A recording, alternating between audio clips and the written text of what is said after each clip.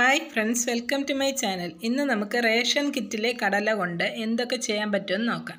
അതിനായിട്ട് ഞാൻ ഒരു ഗ്ലാസ് നിറച്ച് കടല എടുത്ത് വെള്ളത്തിലേക്ക് കുതിരാൻ ഇട്ടിട്ടുണ്ട്. ഏകദേശം രണ്ട് മണിക്കൂർ കഴിയുമ്പോൾ നമുക്ക് ഈ കടലയെ ഒന്ന് അതിന്റെ തോൽ കളഞ്ഞെടുക്കാം. നന്നായി കുതിരാൻ ആറേഴ് മണിക്കൂർ എടുക്കും. എന്നാൽ നന്നായി കുതിർന്ന് വീർത്ത് കഴിഞ്ഞാൽ ഇതിന്റെ തോൽ കളയാൻ ഇത്തിരി ബുദ്ധിമുട്ടായിരിക്കും. എന്നാൽ ഈ കാണുന്ന പരുവത്തിലാണെങ്കിൽ വേഗം വേഗം അതിന്റെ തോൽ പൊളിഞ്ഞു വരും. ഏകദേശം ഒരു പത്ത് പതിനഞ്ച് മിനിറ്റിനകത്ത് നമുക്കിതിന്റെ എല്ലാ തോലും വേഗം പൊളിച്ചെടുക്കാൻ പറ്റും. എല്ലാം പൊളിച്ച ശേഷം ഒരു മണിക്കൂർ കൂടെ ഇത് കുതിരാനിടണം.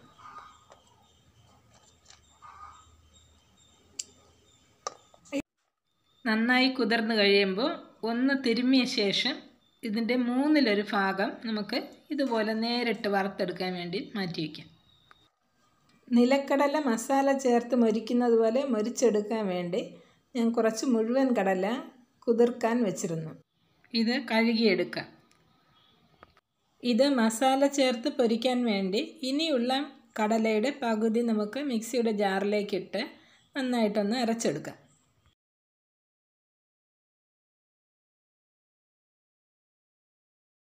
ബാക്കി വരുന്ന കടല വെയിലത്ത് വെച്ച് ഉണക്കിയിട്ട് മിക്സിയുടെ ജാറിൽ പൊടിച്ചെടുത്താൽ ബജിയോ മൈസൂർ പാക്കോ ഒക്കെ ഉണ്ടാക്കാനുള്ള കടലമാവ് നമുക്ക് കിട്ടും. ഇനി നമുക്ക് ഈ മുഴുവൻ കടല പൊരിക്കാൻ വേണ്ടിയിട്ട് ഈ അരച്ച മാവ് അതിലേക്ക് ഇട്ട് കൊടുക്കാം.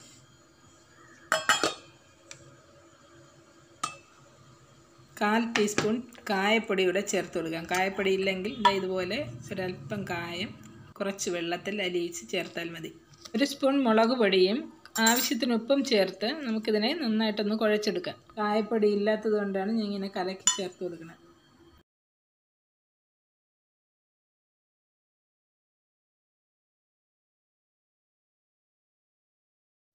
നിങ്ങൾ എന്റെ ചാനൽ ആദ്യമായിട്ടാണ് കാണുന്നതെങ്കിൽ ദയവായിട്ട് ഒന്ന് സബ്സ്ക്രൈബ് ചെയ്തേക്കണേ. തൊട്ടടുത്തുള്ള ബെല്ലൈക്കൺ ക്ലിക്ക് ചെയ്ത് ഓൾ എന്ന ഓപ്ഷൻ തന്നെ കൊടുത്താൽ ഞാനിടുന്ന ഓരോ വീഡിയോയും അപ്പോൾ തന്നെ നിങ്ങൾക്ക് നോട്ടിഫിക്കേഷൻ ലഭിക്കും. ഒരു ചീനച്ചട്ടി അടുപ്പിൽ വെച്ച് ആവശ്യത്തിന് എണ്ണ ഒഴിച്ചു കൊടുക്കാം. വെളിച്ചെണ്ണയോ സൺഫ്ലവർ ഓയിലോ എന്തായാലും മതി.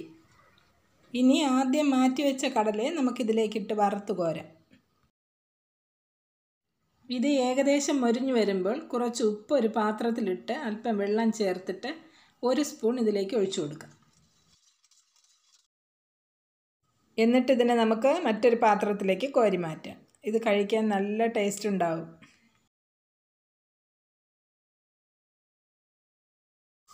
ഇനി ആ എണ്ണയിൽ തന്നെ നമ്മൾ മസാല പുരട്ടി വെച്ചിരിക്കുന്ന കടലയെ കുഞ്ഞു കുഞ്ഞായിട്ട് ഇട്ട് കൊടുക്കാം.